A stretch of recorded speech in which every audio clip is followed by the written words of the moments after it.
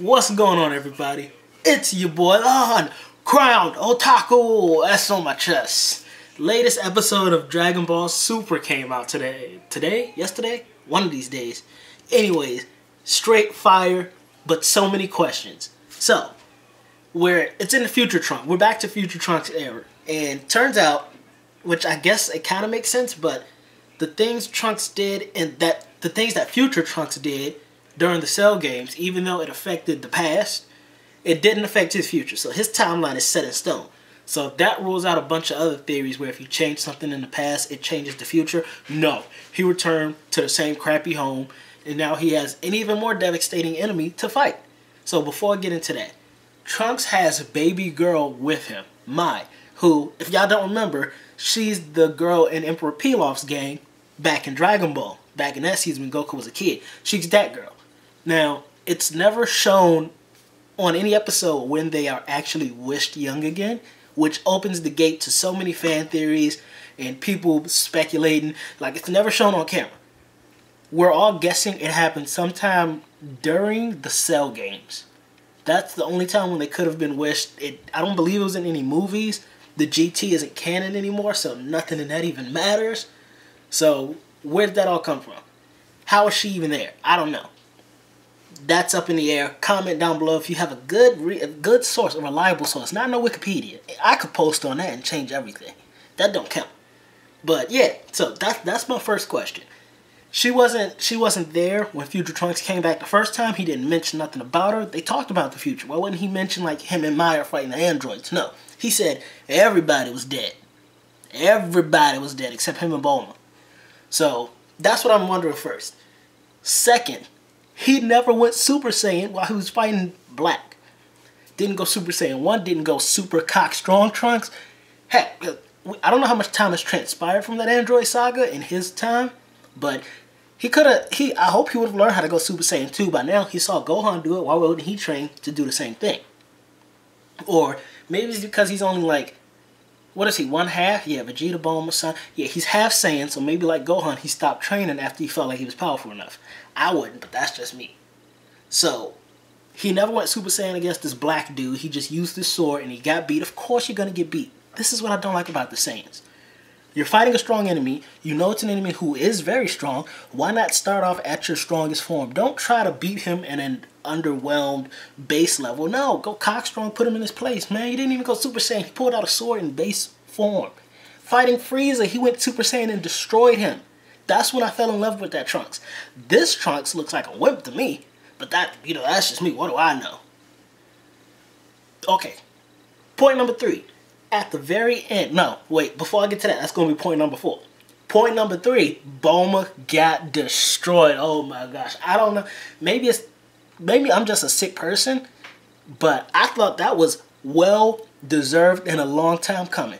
Bulma been pissing off a lot of villains, and this dude, Black, finally just yoked her up, blasted the whole place to smithereens. All you saw was her like lab coat scarf thingy just getting disintegrated. And I was like, that's what happens. You messing with these enemies, you don't got no kind of strength, somebody's gonna lay you out.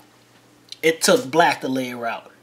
Now, I'm not I don't think I'm a sick person. Like, yo, she been stepping to Frieza, she been stepping to Beerus, she stepped to Majin Buu a couple times. Like, don't just be stepping to these OP dudes thinking they're not gonna lay hands. It's 2016. They gonna lay hands. Point number four, probably the best part of the episode. Hold on, I gotta get y'all ready for this. When Black revealed himself, it looked just like Goku. What y'all know about that? What, what's going on? Now, he did have one earring in. I don't think it's the Potara because when you put that in, it's like one person puts in a left, one person puts in a right. They fuse together. Vegito has two earrings. So when you fuse together, you have to have the two earrings on. It can't just be one or else the fusion breaks, right? I'm pretty sure that's, no, the fusion's forever. But we've seen it broken before, but the fusion is theoretically forever. So, is this actually Goku? A, lot of theories say it's Goku who Goku died from the illness in that future. Somebody revived him, and the earring is a control mechanism. Possible. Here's my theory. Ride with me on this. One thing with DBZ that I always wondered is they never explained Turles. If you don't know, I did a video on this about unanswered questions in anime. when I was doing that series. I'm bringing that back, by the way. I got a lot of questions. They never really explained Turles. If they play this right, this could possibly wrap it all up. Again, hear me out on this. Raditz comes to Earth, says he's Goku's brother. They look nothing alike, right? Cool. We meet Goku's dad in some side stories. What was his name? You remember Goku's dad's name? Uh, Clone number one. Bardock. Bardock. Okay, yeah, yeah. Shame on me for not remembering. So we meet Bardock, right? But there's never a mention of his mother. We never get a Goku's mother mentioned. We do see the um, Bardock's potential side chick, but she gets destroyed by Frieza. Never mention Goku's mother. Now, I'm still getting to my point. Turles looks exactly like Goku. Never a mention of any kind of blood relation, though. What if Bardock was arguably the strongest fighter on planet Vegeta? What if they cloned him? Ride with me on this. Hear me out. They cloned Bardock, so you have Raditz, who is the failed clone, different body structure, the long hair, the weakest of the three Saiyans between Nappa, Vegeta, and Raditz, the weakest of the three. Failed clone. Goku. Promising, looks just like Bardock, but he cried too much at birth, so they sent him to Earth to dominate Earth. If he could do that, they bring him back. Successful clone, right? Turles. Same thing. Goku looks exactly like each other. Both look exactly like Bardock. Didn't cry when he was young, so they sent him off with a team. He found the Tree of Might, started taking over planets, successful clone, until he ran into Goku. Y'all see where I'm going with this, right? What if Goku is a clone? And this black dude in Trunks' future is also a clone. What if Planet Vegeta, even when what if when it was destroyed, they sent off all the clones they had in incubation, this one woke up? What are the chances? Come on, y'all. There's got to be a good theory. And I think my theory of the clones is probably the best you're going to get out there. It, it includes Turles, answers questions about Raditz, answers questions about Goku's mom. He doesn't have one. Test tube baby. There you go. Clones of the strongest fighter. That's why Vegeta can never catch up to him. Almost on par, but can never completely catch up to him because he is an enhanced, genetically modified fighter. Superior from birth, except for the crying. I think I got that on lock. But what do y'all think? The whole black thing, Trunks going back to the future with Mai, when did Mai turn? Young, exactly. Who knows? It's all up in the air.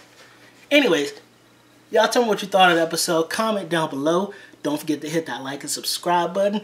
As always, share this with your mom, your dad, your uncle, your nephew, your auntie, your nieces, your cousins. I love y'all. And for y'all to get all this loving I have in my heart, just go ahead and hit that subscribe button. Come on. I know you want to. I got the best loving around.